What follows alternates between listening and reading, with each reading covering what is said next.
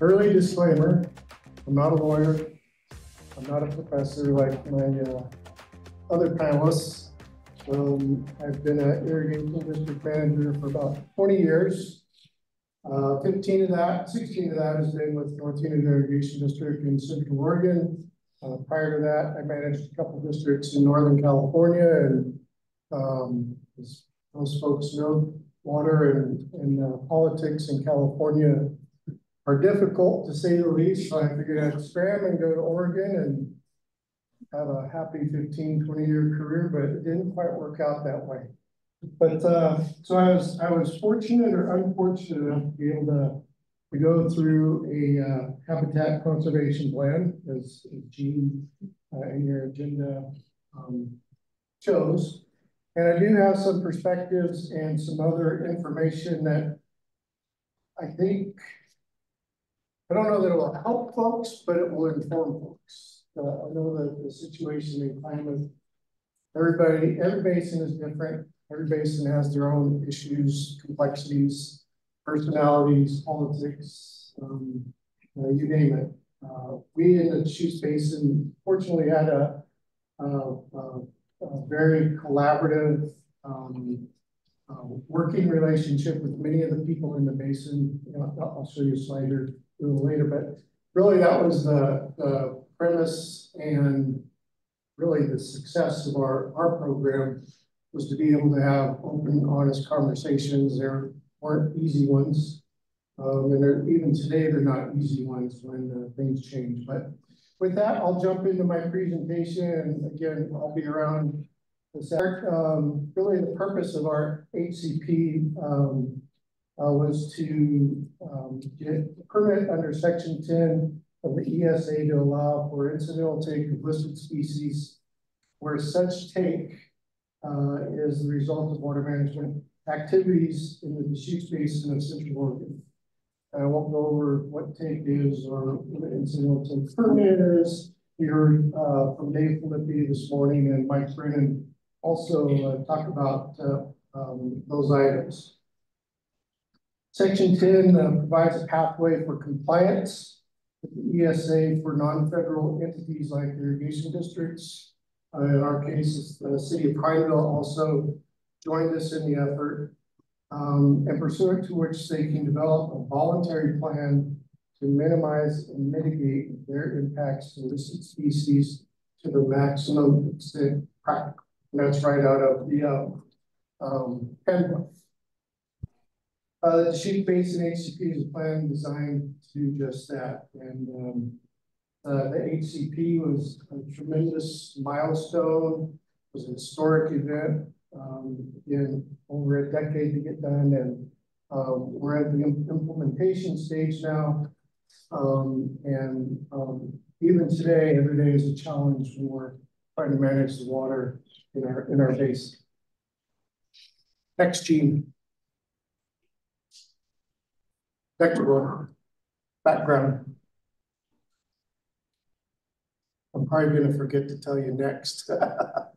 You want the microphone so you can walk around? Um, I have some notes here. So uh, if you could jump to the next slide, I'll just try to remember to remind you. So the background, uh, Deschutes Basin Irrigation Districts in the city of Prineville, uh, labor is, uh, is uh, um, um, it was much more laborious than just simply labor. 12 years developing the plan. And actually, uh, the plan took longer than 12 years um, from the decision to pursue an HCP to the time to actually finish. HCP was completed, completed and approved in 2020 by Fish Wildlife Service and NMFS. We then issued incidental take permits to the district and the city of Prineville, uh, providing take coverage for 30 years. So we have 26 years remaining on our incidental take permits for four years in implementation. Meanwhile, Bureau of Reclamation completed a parallel Section 7 consultation resulting in an incidental take statement. Uh, the Bureau's proposed actions adhere to and follow the lead of the district's conservation measures in the HCP. So essentially, we were the lead in the process along with Fish and Wildlife Service. And as others have alluded to, it allowed, it allowed us to chart our own destination, destination versus allowing federal agencies to, to do that for us. Next slide. The covered parties or, uh, or applicants or permittees are other terms that are used for uh, parties. That includes eight irrigation districts of Central Oregon, which are actually formed under the Deschutes Basin Board of Control. Uh, the Board of Control was formed in the late nineties, um, as an opportunity to pool our resources as a group versus working individually. And HCP is the perfect example of that, where we pulled the resource, pulled the resources of our eight irrigation districts to complete the HCP versus one-off districts going and working with the agencies, collaborators, stakeholders to complete it. Uh, we exchange other types of services. We we own um, equipment, labor. Um, it's really been a, um, a huge benefit to the irrigation districts in the basin as a whole. And the DBBC is represented um, locally um, through some of our uh, collaborative efforts. We have it's called the Deschutes Basin Water Collaborative. It's in process right now, and, and the DBBC represents essentially all eight irrigation districts in that forum, and it has so um, um, for decades now.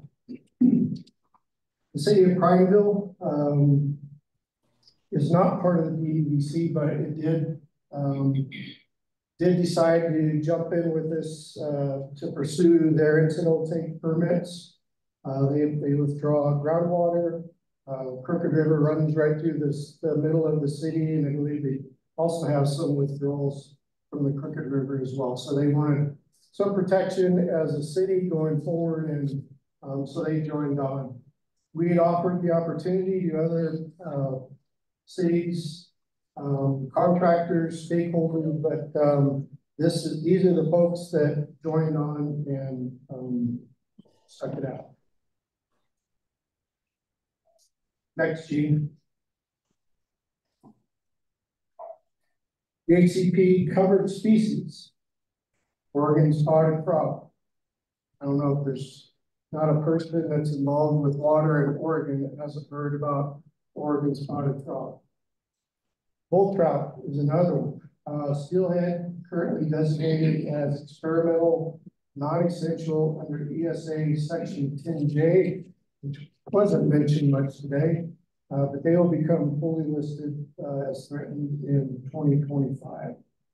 Um, a note to that is we received um, uh, the 10J, no, uh, so we approached NMFS um, 12 years ago, told them we are going to go after HCP, and NMFS said, okay, if you go down that road, go down that road, uh, we'll provide you with a letter that says you're immune from um, prosecution or pros prosecutorial. Um, again, I'm not a lawyer, so I'm at a loss of words there. In other words, we're, we will not be sued over the fact that we have steelhead swimming so bar up our rivers and by our fish creeks.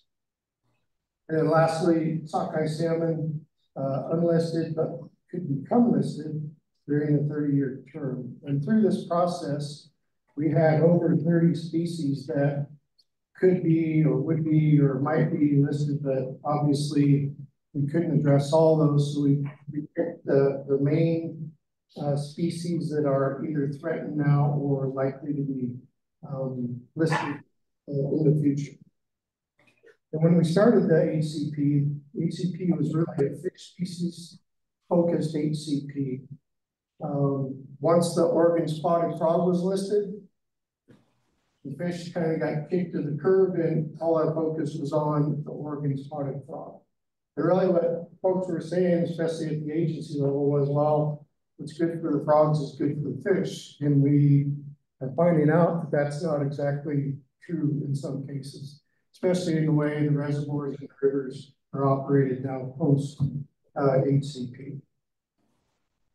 Next. HCP covered activities. So our activities um, include storage and release of water at nine reservoirs. I have a map on the next slide. Diversion of surface water at 18 primary diversions and over 80 small pumps. And those are usually uh, small uh, uh, riverside pumps. Uh, conveyance water to irrigated lands through more than a thousand miles canals and pipes. Return of irrigation water to natural water rate, waterways and at multiple locations. And if you're a bit uh, familiar with um, Bureau of Reclamation projects, um, a lot of the systems in spilling into rivers uh, or streams. In this case, uh, for North Unit anyway, spilling into the Crooked River and uh, Deschutes River as, as um, at the tail end our systems. So that's coming.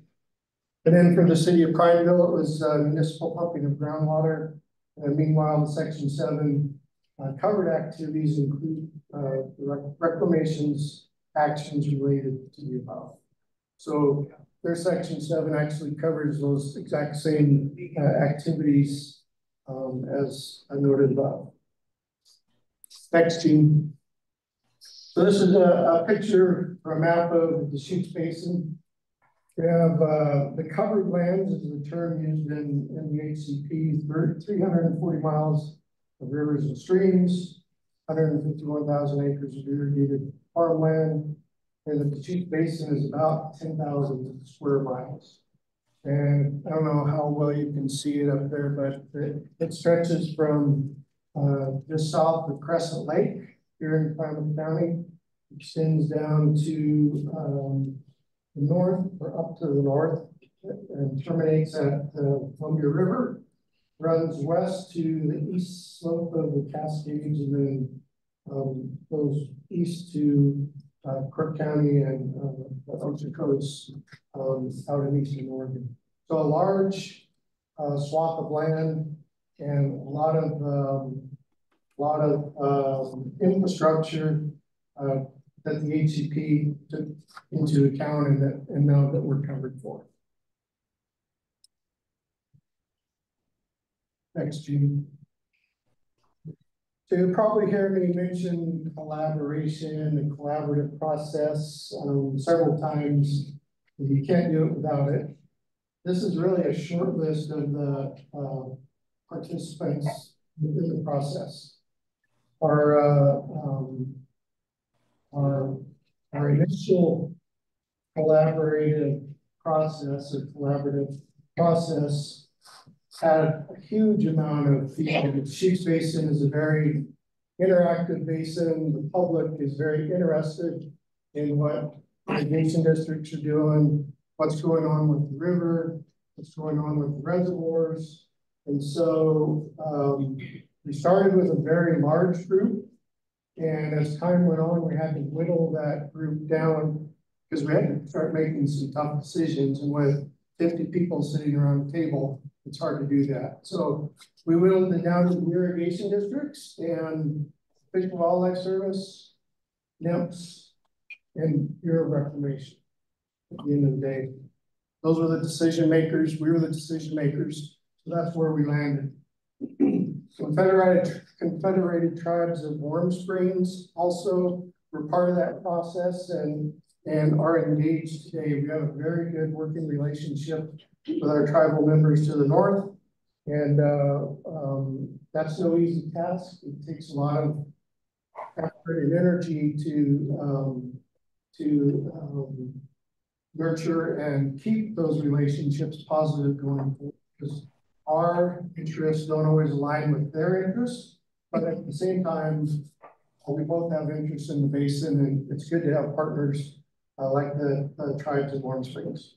Crook County was a part, as was uh, Deschutes and Jefferson counties. And we had uh, a laundry list of non-governmental organizations or NGOs. Um, and again, this is a short, short list of the folks that were most involved in the process. uh, might be worth noting at the time we we're developing the HCP, we're also in the middle of a basin study. Uh, basin study, uh, funded by, uh, the Bureau of Reclamation and the state of Oregon. And it was a, it's a precursor to a much larger, um, effort, uh, integrated water, uh, integrated water resource strategy that, uh, the state is, um, advocating. So we began that work, uh, again, a large number of of basin interests, and that actually helped feed into the HCP and was providing some information for the HCP and, um, um, the process as well. Next, Gene.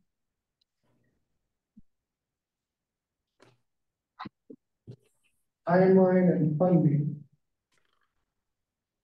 The HCP development began in two thousand nine, and actually, as I mentioned before, um, two thousand seven was the time we actually decided to pursue an HCP. Um, two thousand eight was, uh, request for proposals went out for HCP contractors. Uh, we selected a contractor and during two thousand eight year, uh, that, we worked with that contractor to develop the HCP team which were subcontractors of our, our, um, main CP consultant contract. We had, uh, draft conservation measures presented in twenty seventeen. Uh, NEPA process began in twenty seventeen, concluded in twenty twenty. That was a, a one point six million dollar process that many weren't too pleased with, uh, uh, based on the cost, but also some of the the outcomes of it. Uh, public review of, of the EIS and HCP uh, was 2019 and 2020. The public review process generated over 1,500 comments. Um, so some core associate and law firm had to pour through the 1,500 comments, categorize them, and develop responses to them. So Hopefully they weren't new and hopefully if they were, they're still with the firm after that. Our efforts are supported by seven federal grants totaling 3.3 million. Um, those federal grants were through Fish and Wildlife Service, uh, U.S. Fish and Wildlife Service, and I believe there were Section 6 grants. And then as with grants, there's matching funds and any kind of contributions that we provided of, of 3.4 million as well. And uh, uh, our timeline um, kind of hit a uh, snag. Halfway through the process, um, the Bureau of Reclamation was sued by Center for Biological Diversity for their failure to um, consult, as um, I think Mike Brennan was um, talking about earlier. Uh, and not long after that, there was another suit filed by Oregon NGO that I will name here, and uh, they're actually a collaborator in our process, but they sued the districts, the irrigation districts that were part of the Gates, um, the Deschutes Basin Board of Control, and then also uh, the Bureau of Reclamation. And those, that lawsuit was basically um, under, I believe, section nine of the ESA where they were claiming our operations and our work were, were um, involved in take. And uh, therefore, that was the reason they were coming after us. Eventually, both lawsuits were joined. We ended up in federal court and we actually won, which, uh, um, as Dave Limpy mentioned earlier, is not very common when um, you're in these types of legal battles. Uh, we won the we won the lawsuit largely in part because of the support of Confederate of Warm Springs and also U.S. Fish and Wildlife Service. Um, they both testified on our behalf um, in federal court in support of the HCP and um, really the judge's ruling boils down to you guys have a great collaborative process going you're several years in your HCP. I'm gonna dismiss these and you guys go finish your HCP. If you don't finish your HCP by this date, we'll see you back there in court. So Luckily, we finished the HCP and there was a settlement agreement that was reached after the fact, but it was kind of, kind of neat at that point because we had already started conservation measures related to the HCP to show that we were moving in the right direction with um completion of an HCP. Next slide, Gene.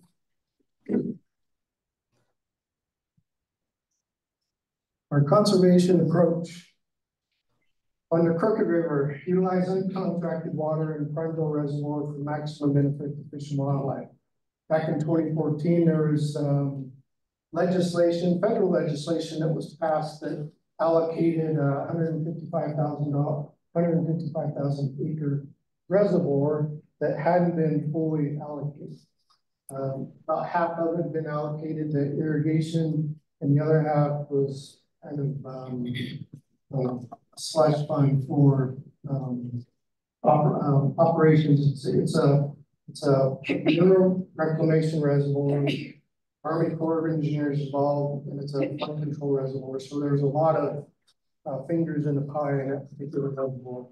And of course, looking at Congress to reallocate uh, the reservoir storage.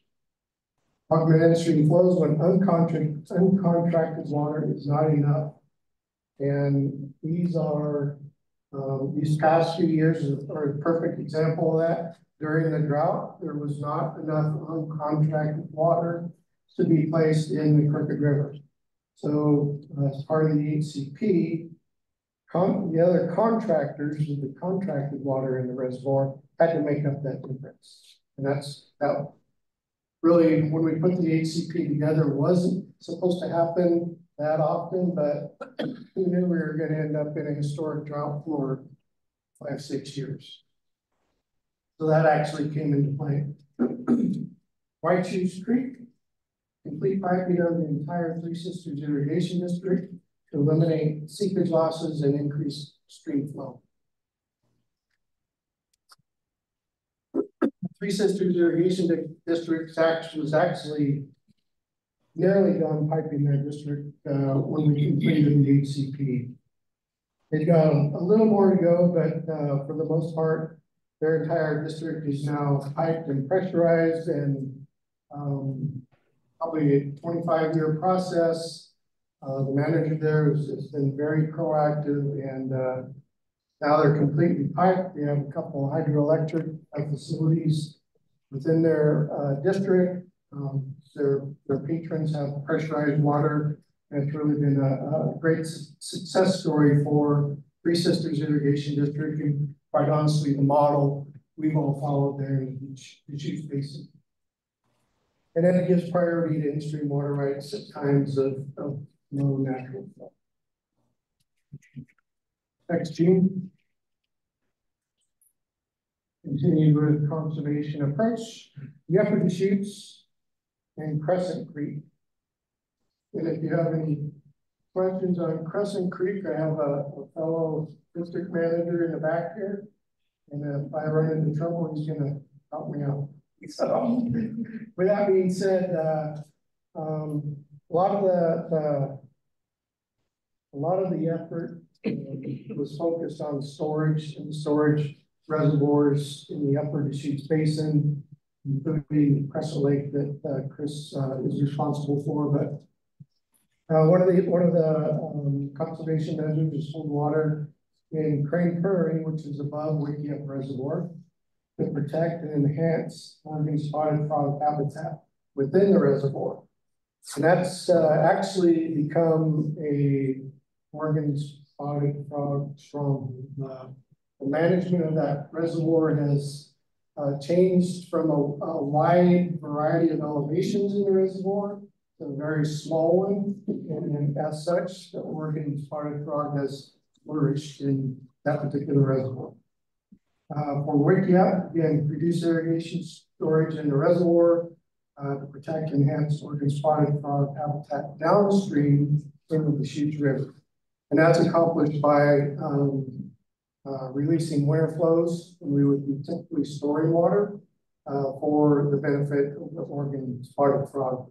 Wickiup Reservoir doesn't have a lot of frog habitat uh, or frogs around the perimeter or within, um, Wickiup Reservoir. And again, reduce irrigation storage in Crescent Lake Reservoir to protect the habitats, uh, habitat downstream in Crescent Creek and the Little Deschutes River. Again, um, operations of, of Crescent Lake and Crescent Creek and Little Deschutes um, has all changed. The way we used to do stuff for seventy years or longer um, has all changed. Um, and we're, as I mentioned earlier, we're still learning every day on how to implement and manage the HCP. One of the, the bigger and more costly um, conservation measures, reduce canal seepage losses through piping and increase on-farm efficiency, compensate for losses of reservoir storage. Um, we've been very successful in the Deschutes Basin um, obtaining federal funding to do just that. We've been uh, piping, um, in fact, Chris's district is, is nearly piped. Um, piping districts to save the water. And I don't know if I can, I'll try to explain this. So if, um, if Chris pipes a ditch in his district and saves ten CFS, North unit releases ten CFS of water in the winter in exchange for receiving Chris's ten CFS as life flow in the summer. So it's an exchange process that we've worked out throughout the districts, and really that's how we're going to accomplish our goals. We're trying to meet uh, some pretty lofty goals when it comes to river flow in the Upper Deschutes, uh, in the Upper Deschutes River. And then there was also uh, time to complete piping projects. Uh, many of you in the room probably know what it takes to find the funding to, to put the projects in place to get the projects done. It takes a lot of time. Fortunately, Fish and Wildlife Service recognized that and gave us uh, a little more time than they might to try and accomplish uh, getting those projects done and um, help to start meeting those, those timelines um, within the HCP. And we have benchmark increases in in-stream flows in years eight and 13 of the HCP. And we started at 100 CFS and run up to as much as four or 500 CFS. Next, Gene. Challenges.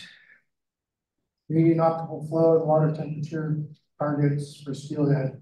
Again, those are mostly in the Crooked, uh, Ochoco Creek and McKay Creek on the Crooked River system, and then Whychus Creek, which is out by Siskiyou, Oregon. Crooked River is notoriously known for uh, warm water, particularly during the, the summer. It runs over, uh, the river runs over the salt. Salt's heated during the summer. It's um, lined by canyon walls. The heat reflects off, and it's it's not a very, uh, not a very cool or, um, or a cool river for species that, that are cold water species. Um, balancing reservoir and riverine habitats for Oregon spotted frog with irrigation. Upper Deschutes River, as I mentioned, in Crescent Creek. Um, just the, as I mentioned, everything basically has been turned upside down. Um, we used to be able to manage reservoirs, I won't say willy-nilly, but based on the need. So Union Irrigation District is demand system. Our farmers call in at 5 p.m. I need X number of CFS for X number of days. We tally all that up and release it um, out of Wickiup Reservoir for farmers. Well, that's not so simple anymore. We still take the orders, we still uh, request and demand, but now reservoirs have to stay at certain ele elevations for certain periods of time. The river below Wickiup Reservoir can't fluctuate by certain amounts during certain times of the year. So if the Oregon spotted frog is breeding in some location and there's water in there, we can't drop the river level and dry up those frogs or the breeding habitat. Likewise, if they bred and their eggs are out in an oxbow or wetland, we can't really increase the flows or decrease because that will dislodge the eggs. Become available for predators or get flushed downstream or, or whatever the case may be. So short story is our operations, um, although manageable for the most part, have become much more difficult uh, in the basin. And then funding canal, non-farm efficiency projects, again, that's uh, a given. Um, we've been able to bring in about hundred and fifty million dollars to the basin to do piping projects and on-farm efficiency. Many of you have heard of PL five sixty-six. It's been our bread and butter for a while now, and hopefully, I did see it get funded, uh, after the, the last budget approval, but not nearly to the level um, that we would like to see, and then also the state of Oregon has actually stepped up and, and put fifty million dollars of lottery bonds into a bucket of money for irrigation districts to do um, irrigation modernization projects. Next. Progress to date, as I mentioned, we're in year four. Crane Prairie is being operated to enhance the Oregon spotted frog habitat. Upper Deschutes River minimum flow in, in winter has increased to 100 CFS from 20 CFS, which was our, our legal limit prior to the HCP coming out of where you, you can imagine 20 CFS in the upper Deschutes, um, all the way down to the mouth of the Columbia isn't a lot of water. Um, so people were ecstatic when they saw 100 CFS, and now we're at about 145 CFS today. And CYD, Arnold Irrigation District, Lone Pine Irrigation District have um, uh, projects underway, and we expect to see that number hopefully around 200 or more within the next couple of years. Crescent Lake is being operated in Oregon spotted frog habitat. Again, uh, reservoir levels and the releases out of the, reservoir to maintain flows in Crescent Creek and the lower Deschutes River.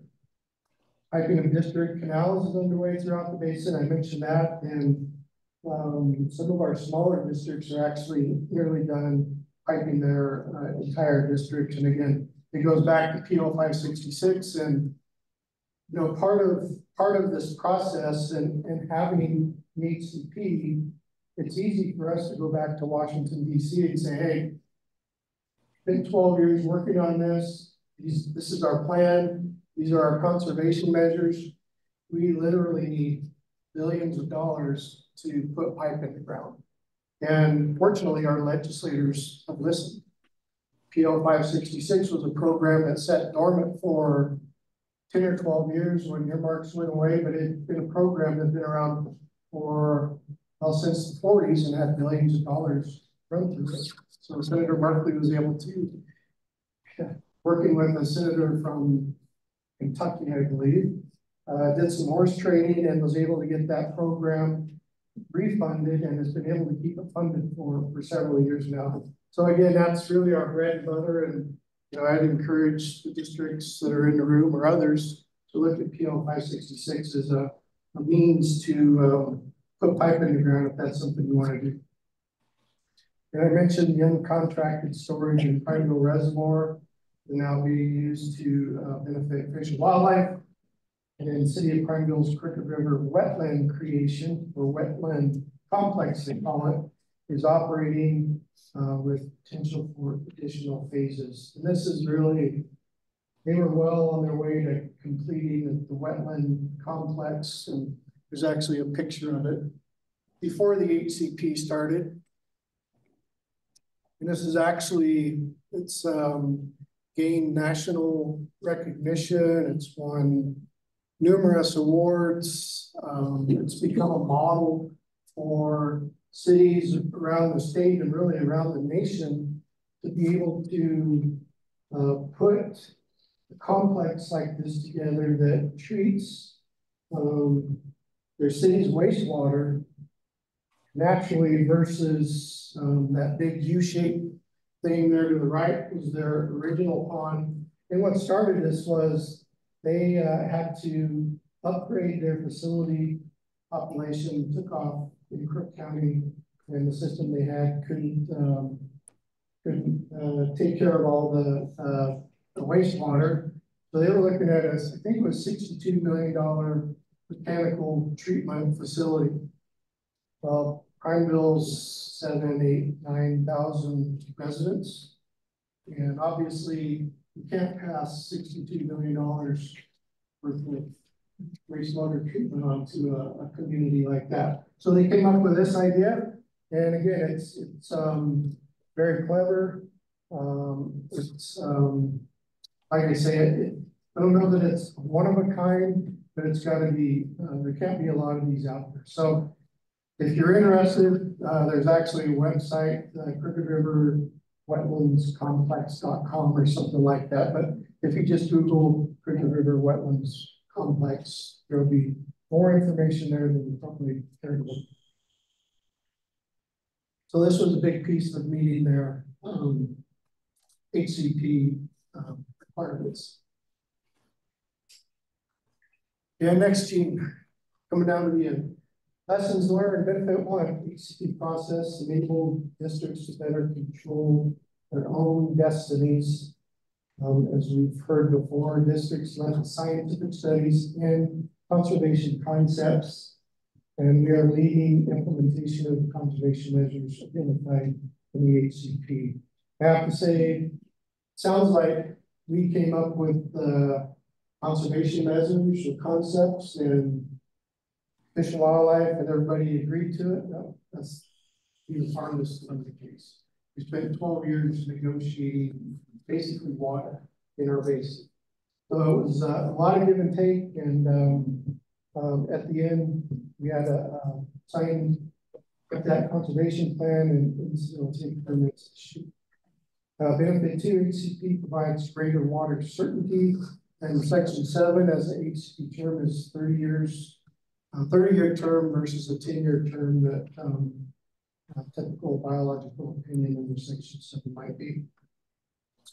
There's no surprises, uh, statement in, in our HCP. Districts won't be asked to do more than we've already committed to, even if there's new science or other indicators that, um, says the HCP measures aren't enough for the species. And adaptive management provision, provisions in the HCP still allow for constructive agreed upon changes as issues arise. And again, going back to the drought, um, you're in our first year of implementation, you're in a historic drought, and quite honestly, there wasn't enough water for um, frogs or farmers at the time. So um, there was a lot of uh, adaptive management going on to be able to, to show that portions of the HCP were still working under these severe drought conditions while also providing water to our farmers, albeit uh, the amount of water we received um, as a junior water holder in the basin was was uh, very low, very low. I think our lowest was uh, half a foot per acre for our fish experience, which normally, a normal year would be two acre feet per acre. So, um, was not good, was not good. Next slide. HCP standard of minimizing and mitigating impacts to the maximum extent practicable is a higher standard than section seven think that's uh, what Mike had mentioned earlier. Um, I'm simply avoiding jeopardy to continued existence of species. Districts are required to commit to long-term efforts. Actually, we wanted a, a 50-year term, but uh, services would only go uh, 30. With ongoing implementation requirements and costs, those fall on the, the HCP applicants or the committees or uh, the partners. Um, flows will increase even if conservation projects cannot keep up. So in year eight, we're supposed to have three hundred CFS in the river. We've only made it to two fifty. That fifty CFS has to come from somewhere and it has to be in the river during the time specified in the HCP. And unfortunately, again, being a junior water right holder in the basin, that will fall on North Unit Irrigation District to make up that difference. During drought, the burden is heavier than in normal or wet years. I don't know if there is a thing as normal anymore. Uh, recent shortages were effectively shared between frog farmers, but at least it wasn't uh, all or nothing for one interest. So going back to the adaptive management, that had not been the case. Fish and Wildlife Service could have said, nope, this is what you said you were going to do. This is what you're going to do. But instead, we gather around, discuss, okay, if we can move water from this time period to this time period, keep uh, more water in that reservoir than the other, um, then maybe we can make this work. But that's how we were able to get through these tough times was an open dialogue and again, a collaborative effort that uh, we've, we've been working under for years now, really helped uh, through, through those difficult times. And then the key to success, um, again, building and maintaining relationships with the agencies, Warm Springs tribes, and conservation partners like Future Conservancy, is a, a very active and prominent uh, group in the Deschutes Basin, and um, they all help us to address when they arise. Um, that is my last slide, and I would just say that um, I, um, having gone through 14 years of the HCP, wasn't easy, um, very expensive. Um, we, had the, the video you saw with Dave Lippy was our Central Oregon Farm Fair trade show that happens every year. Um, for 14 years, we talked about the HCP, talked about what we were doing, how we were doing it. And when the HCP was signed and final, people came out of the woodwork. What? You did that? Yeah. Why didn't we know? And it's like, well, this wasn't a secret. 1,500 people provided comments. And in fact, there were people that were actually sitting in court when the judge said go back and finish the HCP that even after that, they were astounded that we did what we did to get the HCP. So my, I guess my end message is if you're gonna go down this path, or really any path, um, look at your stakeholders, look at your patrons, keep them well informed, um, almost nauseum, and uh, um, keep open and collaborative processes as best you can, recognizing that at some point those processes need to be whittled down and uh, the people making the decisions are in the room making those decisions and not somebody else somewhere else. So with that, I'll turn it over to you.